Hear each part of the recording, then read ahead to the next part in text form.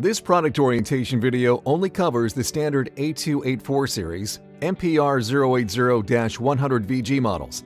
If your truck is equipped with any options, please contact your Yale dealer for more information.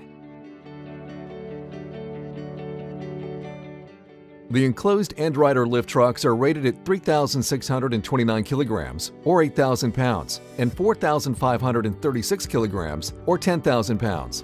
These lift trucks have a 24-volt AC traction system and a 24-volt DC lift system. An electric traction motor supplies forward and reverse travel. The control handle has the following functions braking, direction speed control, lifting, lowering, and horn operation. Optional equipment can be installed per customer request to change some operating characteristics to meet unique application needs. The operating manual is in a container on the drive frame. This is a permanent reference and must be available for use at all times. The nameplate for the lift truck is found on the drive frame console.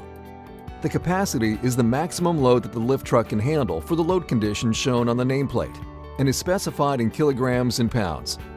The lift truck serial number is located on the nameplate and is stamped on the lift truck frame as well.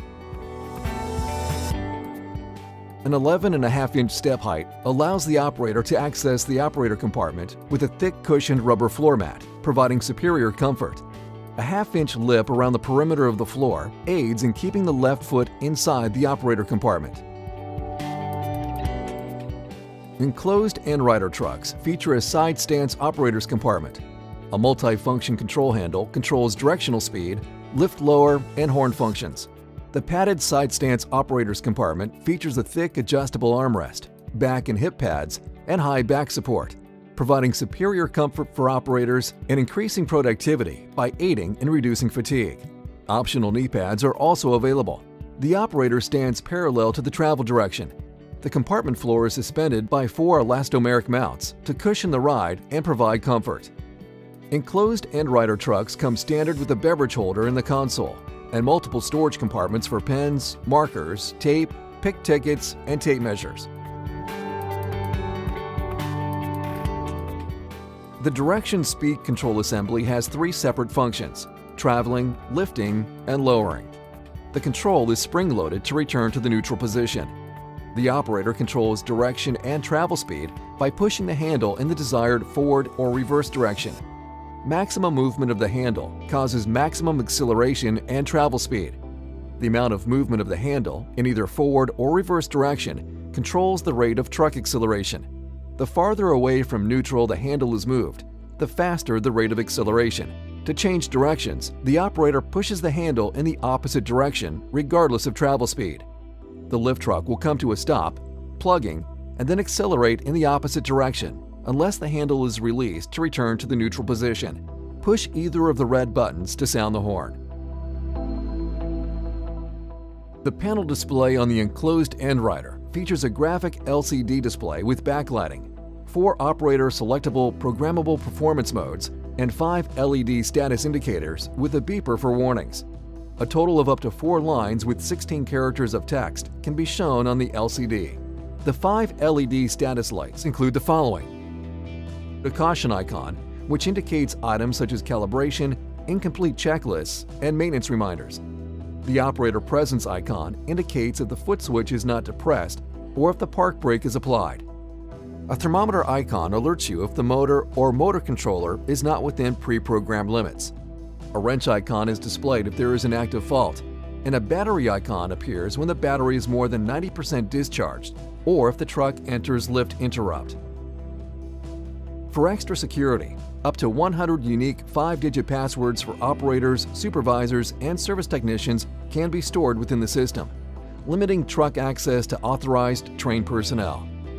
The enclosed end rider also has counters for traction, lift, and total truck hours. When approximately 25% battery charge remains, the last two bars flash. At 10% charge, the battery LED illuminates and the truck enters lift interrupt.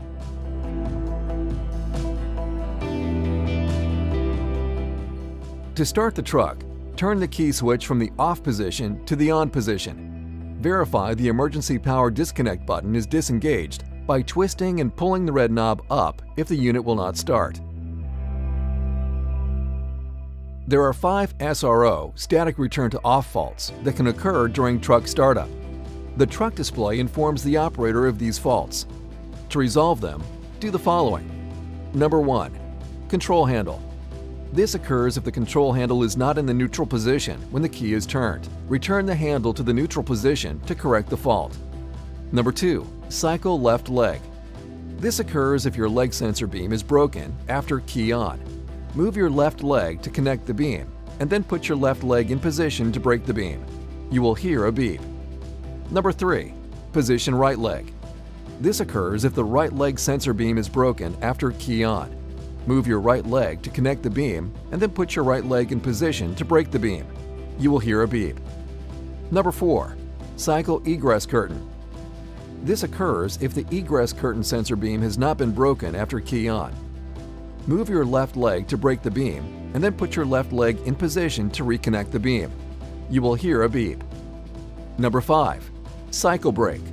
This occurs if the brake has not been depressed after key on. Depress the brake after key on.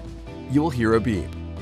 Once all of the start sequence has been met, the horn will sound twice and the truck is operational. There are three primary methods to stop the unit. When the multifunction control handle or MFC handle is returned to the neutral position from a travel direction, the truck will automatically apply regenerative braking to gradually slow the truck to a stop. For more aggressive braking, move the MFC handle from one travel direction towards the opposite travel direction. The amount of regenerative braking applied is proportional according to how far you move the MFC handle away from neutral. The farther away from neutral you move the handle, the more aggressive the braking action becomes.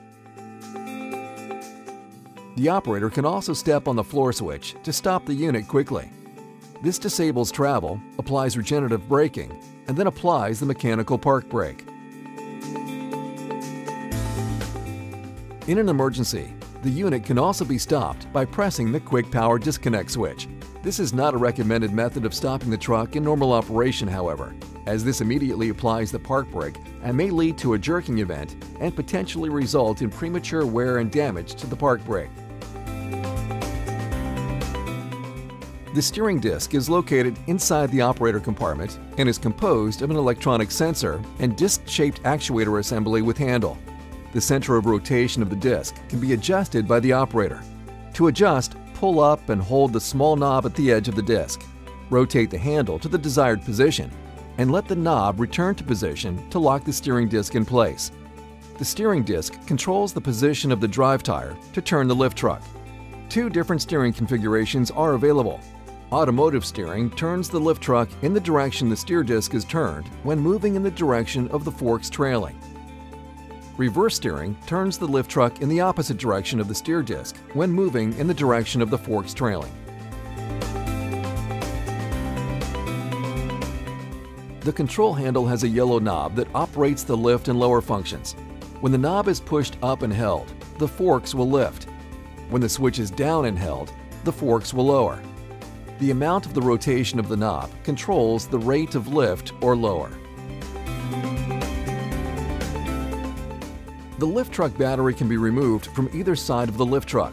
A roller rack under the battery permits easy battery movement. The battery must have spacers installed to prevent more than 13 millimeters or 0.5 inches of horizontal movement of the battery. The battery restraint panels must be in place before operating the lift truck. The battery can be left in the lift truck for charging as well, with the open battery compartment sides.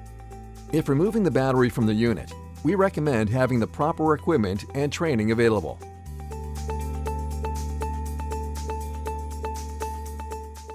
Enclosed end rider accessories include operator password start interlock, multifunctional dash display, stretch film roll holder, multi-purpose bar above motor cover, convenience tray, trash bin under the operator backrest, reverse activated audible alarm, DC to DC converter, coasting function, LED work lights with auto on function.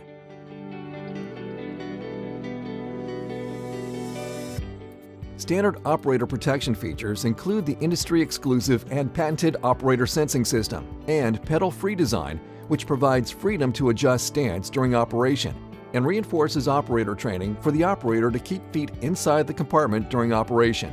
The operator does not have to stand on pedals for truck operation. And a raised lip around the outer perimeter of the floor mat area, which serves as an additional reminder in keeping feet within the operator compartment. Additionally, there is a horn to alert other trucks and pedestrians of the truck's presence,